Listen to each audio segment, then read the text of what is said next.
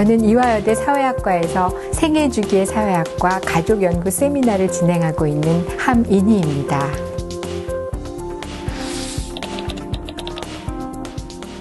사회학적 상상력을 기반으로 해서 우리가 당연시 해왔던 것에 대해서 한 번 더 물음표를 제기하는 굉장히 많은 것들을 생각할 수 있고 디지털 시대의 아날로그적 감수성을 결합해서 보다 융합적인 사고를 할 수 있는 인간 행위와 사회 구조를 여러분에게 권유합니다.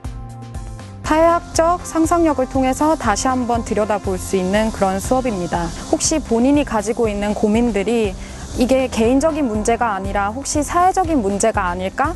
하는 궁금증이 드신다면 하민희 교수님의 수업을 반드시 들어보시기를 추천드립니다. 내가 중장류층 같은